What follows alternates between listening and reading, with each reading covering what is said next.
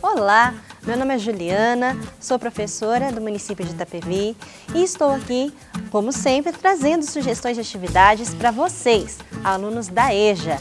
Lembrando que o acesso aos vídeos vocês encontram no link Lição de Casa no site da Prefeitura de Itapevi. Então, começando pela língua portuguesa, os dois termos encontrarão no quadro de rotina uma sugestão da atividade que seria, para o termo 1, fazer um bilhete e para o termo 2, uma carta. Porém, eu trouxe aqui já um roteirinho também para auxiliá-los. Veja bem, no bilhete vocês vão ter que colocar lá em cima no caderno a data do dia que vocês irão escrever, depois o nome do destinatário, ou seja, quem irá receber esse bilhete, a mensagem e como nós estamos falando de um bilhete, é uma mensagem curta, tá? Uma mensagem breve. E depois o agradecimento e a despedida e o nome de vocês, ou seja, o nome de quem escreveu o bilhete.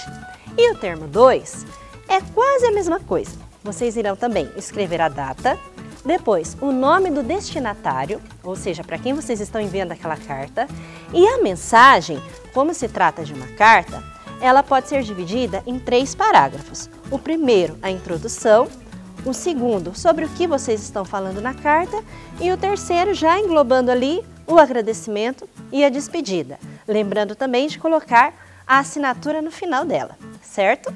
A próxima atividade de língua portuguesa, os dois termos irão encontrar imagens e irão escrever no caderno o nome daquela imagem.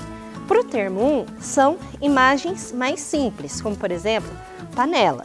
E para o termo 2, palavras mais complexas, como essa aqui, por exemplo, caminhão.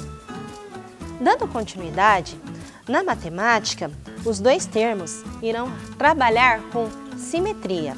Simetria é desenhar a outra parte da imagem que está faltando exatamente igual como essa aqui que já está aparecendo. Vocês também irão encontrar essas imagens lá no quadro de rotina de vocês. Aqui eu trouxe duas. Essa aqui do termo 1, que é a borboleta, e a flor do termo 2, certo? A próxima atividade de matemática também serve para os dois termos. Vocês também irão encontrar no quadro de rotina uma sequência de formas geométricas. Essa aqui é do termo 1. Então, vocês irão analisar essa sequência, como que está aparecendo e continuar completando ela. Essa aqui já é um pouco mais complexa, é a do termo 2.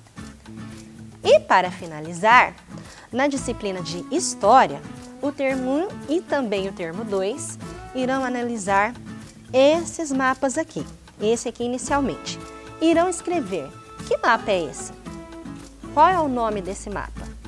E o segundo é este aqui. Esse é mais fácil. Qual é o nome desse mapa aqui? Irão registrar tudo no caderno de vocês, bem bonito e bem caprichado. Bom, essas foram as atividades de hoje. Espero que vocês tenham gostado. Não esqueçam de compartilhar esse vídeo com seus amigos e conhecidos e também de manter higiene. Se forem sair de casa, utilizem a máscara e até a próxima!